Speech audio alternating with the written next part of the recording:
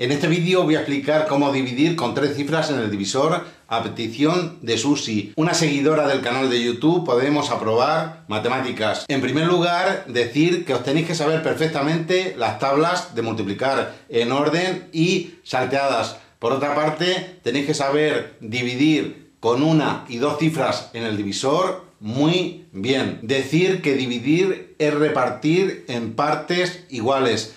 Por un lado tenemos el dividendo. Imaginaros que Bob Esponja, por eso lo he puesto en la portada, tiene 496.137 euros y los quiere repartir entre 528 personas que se han quedado sin trabajo como consecuencia del coronavirus. Mirad, el 496.137, o sea, la cantidad de euros que tiene Bob Esponja sería el dividendo. Y el 528, o sea, las personas a los que va a repartir esos euros sería el divisor. Pues bien, en primer lugar, lo que vamos a hacer es fijarnos en el número que tenemos en el divisor. Como es el número 528, seguidamente nos vamos al dividendo y vamos a cortar o separar con un arco en la parte superior el primer número igual o mayor que 528. Si os dais cuenta, el 496, también tres cifras, es menor, más pequeño. Por consiguiente, cortamos o separamos cuatro cifras. Ahora vamos a dividir 4.961 entre 528. ¿Por qué número tenemos que multiplicar 528? El número lo escribimos aquí en el cociente para que el resultado se aproxime a 4.961 y no se pase por 9 o 9 por 528. ¿O cuántas veces cabe 528 en 4.961? Cabe 9 veces. Así se hace en algunos países de América Latina. No obstante, os voy a decir un truco. Este truco es mucho más efectivo cuando la cifra de las decenas es un número pequeño. Mirad, tenemos unidades, decenas y centenas. O sea, es el 0, 1, 2, quizás 3. ¿Por qué? Tenemos que contar las que nos llevamos y nos podemos pasar, pero nos hace una idea aproximada de qué número tenemos que escribir aquí en el cociente. ¿De acuerdo? Vamos a tapar el 8 y el 2, las unidades y las decenas. De tal forma que en esta división la cifra de referencia más importante va a ser el 5, las centenas, la que está junto a este ángulo recto. Pero a la vez, al mismo tiempo, vamos a tapar el 1 y el 6, las unidades y las decenas del número que hemos cortado en el dividendo. Tapamos y tapamos. Y ahora decimos, de la tabla del 5, de este número que tenemos como referencia,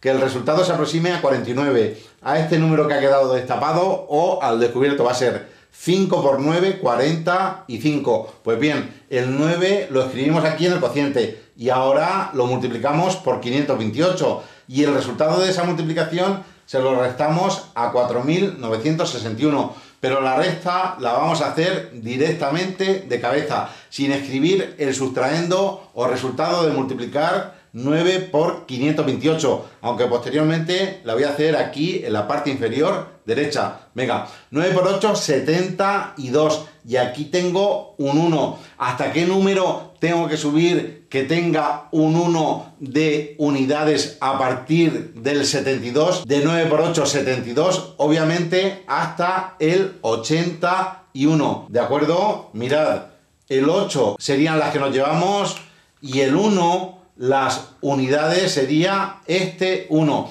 Vuelvo a repetir, 9 por 8, 72 hasta 81 tenemos que subir o contar 9 números o subir 9 escalones o peldaños, ¿de acuerdo? 73, 74, 75, 76, 77, 78, 79, 80 y 81. Repito, subimos 9 escalones o peldaños. De 81 nos llevamos 8, el número de las decenas. Y ahora, 9 por 2, 18, más 8 que nos llevamos, 26. El 18 no se cuenta. 19, 20, 21, 22, 23, 24, 25 y 26. Y aquí tengo un 6. Decimos hasta 26, 0. ¿De acuerdo? Mirad, el 2 serían las decenas y el 6, las unidades, sería este 6. Repito, 9 por 2, 18 más 8, 26 hasta 26, 0. No tenemos que subir ningún escalón o peldaño porque estamos en el número 26. De 26 nos llevamos 2, siempre el número de las decenas.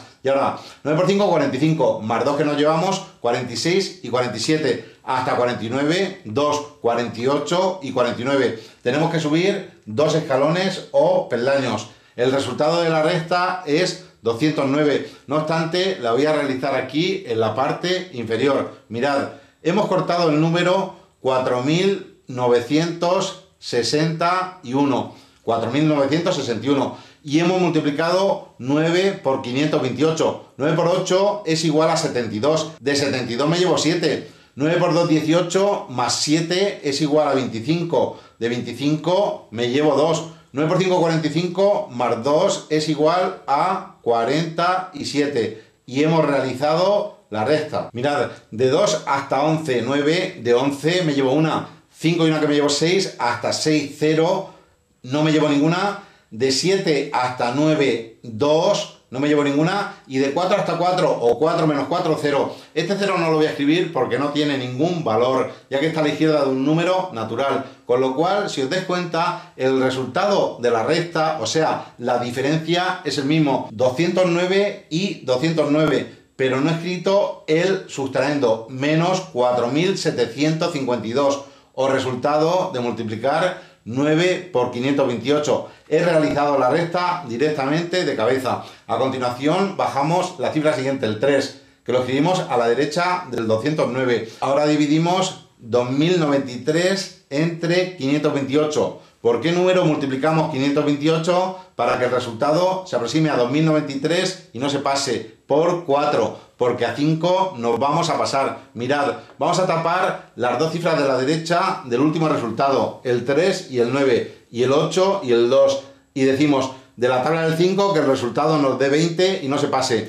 Va a ser 5 por 4, 20. Pero ojo, luego nos vamos a pasar con las que nos llevamos. Mirad, imaginaros que escriba aquí un 4. No lo voy a hacer porque tendría que borrarlo. 4 por 8, 32. Hasta 33, 1. De 33 me llevo 3. Y ahora, 4 por 2, 8, más 3, 11 hasta 19, 8 de 19 me llevo una. Y ahora 4 por 5, 20 más una que me llevo 21. Yo de 21 no puedo subir hasta 20. A 20 no le puedo restar 21. El sustraendo es mayor que el minuendo. Por consiguiente, a 4 no cabe. Como a 4 nos pasamos, va a ser a 3, a un número menor. Mirad. 3 por 8 es igual a 24 y aquí tengo un 3. Tengo que subir hasta llegar al primer escalón o número que tenga un 3 de unidades. De 24 hasta 33. Mirad, el 3 serían las decenas, las que nos llevamos, y el otro 3 serían las unidades. Este 3. Vuelvo a repetir. 3 por 8, 24. Hasta 33, 9. El 24 no se cuenta. 25, 26, 27, 28, 29, 30, 31, 32 y 33. Repito, tenemos que subir 9 escalones o peldaños. De 33 nos llevamos 3. 3 por 2, 6. Más 3 que nos llevamos, 7, 8 y 9. Hasta 9, 0. No tenemos que subir ningún escalón o peldaño, porque estamos en el número 9. De 9 no nos llevamos ninguna, porque no tiene decenas, ¿de acuerdo? Y ahora, 3 por 5, 15, hasta 25. El 15 no se cuenta. 16, 17, 18, 19 y 20. Tenemos que subir 5 escalones o peldaños. Con lo cual, el resultado es 509. Ahora voy a realizar toda la recta aquí en la parte inferior derecha. Mirad, teníamos el número 2093. Sería el minuendo, el número de la parte superior. Y ahora hemos multiplicado 3 por 528. 3 por 8 es igual a 24, nos llevamos 2, 3 por 2, 6, más 2, 8, no nos llevamos ninguna, y 3 por 5 es igual a 15. Y hemos realizado la recta. Mirad, de 4 hasta 13, 9, de 13 me llevo una. 8 y una que me llevo 9, hasta 9, 0, no me llevo ninguna. De 5 hasta 10, 5, me llevaría una.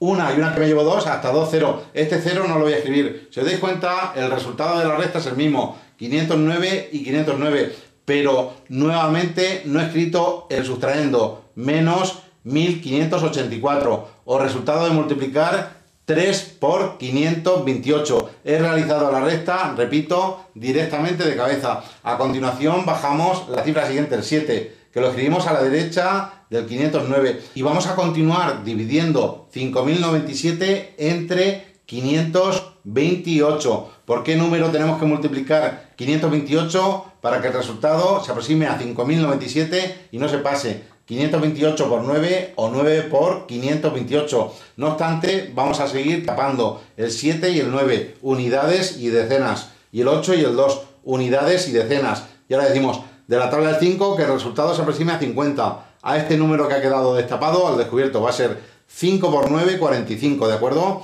Ahora, 9 por 8, 72. Y aquí tengo un 7. Tengo que subir hasta llegar al primer escalón o peldaño que tenga un 7 de unidades de 72 hasta 77. El 7, las unidades sería C7 y nos llevamos otras 7, ¿de acuerdo? Vuelvo a repetir. 9 por 8, 72, hasta 77, 5, 73, 74, 75, 76 y 77. Tenemos que subir 5 escalones o peldaños. De 77 nos llevamos 7. Y ahora, 9 por 2, 18, más 7, que nos llevamos 25 hasta, tengo que subir hasta llegar al primer escalón o peldaño que tenga un 9 de unidades de 25 hasta 29, ¿de acuerdo? El 25 no se cuenta, 26, 27, 28, 29. Tengo que subir 4 escalones o peldaños de 29, nos llevamos 2. Y ahora, 9 por 5, 45, más 2 que nos llevamos, 46 y 47, hasta 53, 48, 49 y 50.